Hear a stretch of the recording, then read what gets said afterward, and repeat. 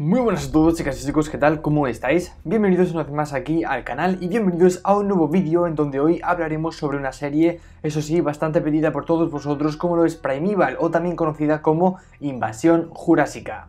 A lo largo de este vídeo haré una extensa reseña de esta serie, analizaremos todas las temporadas y finalmente os mostraré una opinión o crítica personal de esta misma serie que seguro muchos fanáticos de los dinosaurios pues habrá visto siquiera o conocido alguna vez. Yo soy José Lu, esto es JoséLex98, tu canal de dinosaurios, Jurassic Park, monstruos y paleoarte. Activa la campanita para ser el primero en ver estos vídeos y sin más que perder, arrancamos. Primeval. Conocida también como Invasores Primitivos en América, es una serie de ciencia ficción y aventuras de origen británico producida por la BBC, la cual se estrenó el 10 de febrero de 2007 a través del canal ITV. Esta serie cuenta con un total de unas 5 temporadas de unos 36 episodios en total, en las que un equipo de científicos encargados de investigar la aparición de anomalías temporales en Gran Bretaña debe afrontar las múltiples apariciones de diferentes criaturas a través de estas mismas anomalías que se abren directamente a nuestro mundo. Por casi la totalidad de los episodios, de sobre todo las primeras temporadas, vemos como la trama siempre sucede a que un portal aparece, portal de diferentes eras geológicas, como si literalmente fueran portales a través del tiempo, permitiendo a estas mismas criaturas más salvajes, tanto del pasado como del futuro, viajar, pues como ya he dicho, a través del tiempo hacia la Inglaterra actual.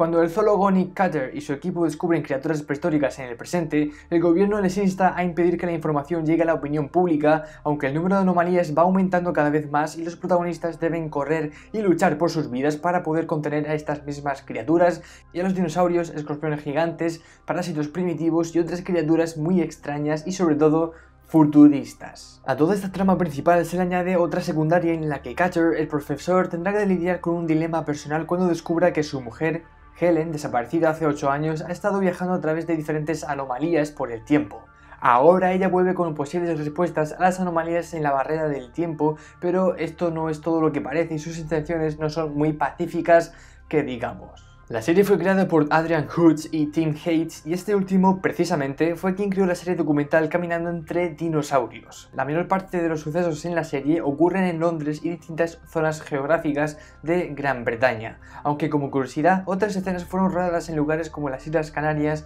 o República Dominicana para representar las distintas épocas a las que los personajes viajan a través del tiempo.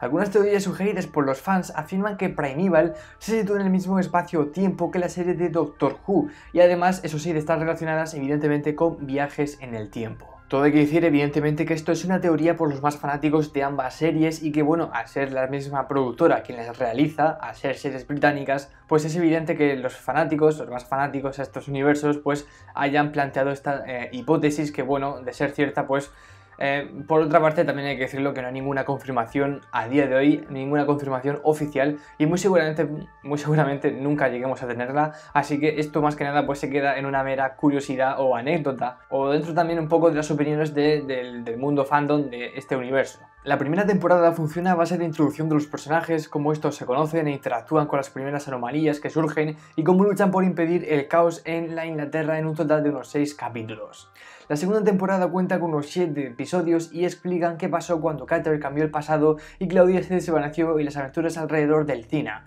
el Centro de Investigación de Anomalías. En la tercera temporada tenemos unos 10 capítulos en los que aparecen varias criaturas basadas en especies del registro fósil e incluso podemos ver como lo que parece una de gremlin o cierto animal que nos recuerda a esta misma criatura. Luego las dos últimas temporadas compuestas por unos 13 episodios, la cuarta y quinta respectivamente, donde quizás la trama principal se puede como desdibujar un tanto más, pero que a continuación pues eso sí abarcaremos este tema más adelante. Esta serie tampoco se libró de la polémica y recuerdo en su momento cuando pude verla por televisión, aquí concretamente en España en el canal 4, recuerdo con cierta indignación el final de la tercera temporada, ya que aparte de ser un final bastante intrigante y épico, lo más doloroso fue saber que la distribuidora canceló la serie para una cuarta temporada, terminando con un apoteósico cliffhanger que eso sí pues no hacía justicia a la serie para nada, aunque como ya hemos visto, finalmente sí que harían una cuarta y quinta temporada. Pero eso sí, gracias a los fanáticos de la serie que pedían a gritos que se emitiera una cuarta o quinta temporada o alguna que otra temporada más. Y finalmente pues se emitió más adelante en 2011, aunque lo personal el daño ya estaba hecho, y ese parón y volver a empezar hizo mucho daño a la serie y acabó matándola por completo, remontando de manera muy desafortunada lo que habían creado las tres primeras temporadas que a mi parecer son increíbles. El trío de personajes principales conformados por Nick Cutter, Kotor y Abby se vio algo mermado por la marcha de este mismo doctor que a muchos de nosotros nos impactó bastante y que estuvo bien integrada, todo hay que decirlo, en los sucesos dentro de esta misma serie. A lo largo de estas 36 temporadas pudimos ver inmensidad de criaturas como Gorgonópsidos, Dodos, Tranodones, Escudosaurus, Smilodon, Mamut colombino, Dromeosaurus, Spinosaurus, Giganotosaurus y variadas criaturas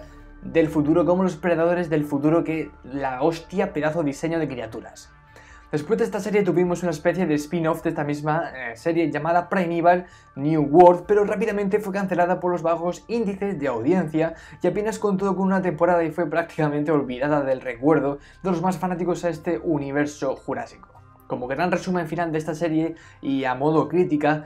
la verdad que me parece en cierta manera que desaprovecharon la trama que tenían montada y que no supieron dar o lidiar con un final a esta historia, ya que si bien las tres primeras temporadas pues son realmente buenas, merecen mucho la pena, después ese parón que tuvieron y ese reinicio a continuación de la serie aunque no muy desafortunado, supuso que fanáticos como yo por aquella época perdían totalmente eh, la trama, ¿no? el, el, ganche de la historia, los acontecimientos,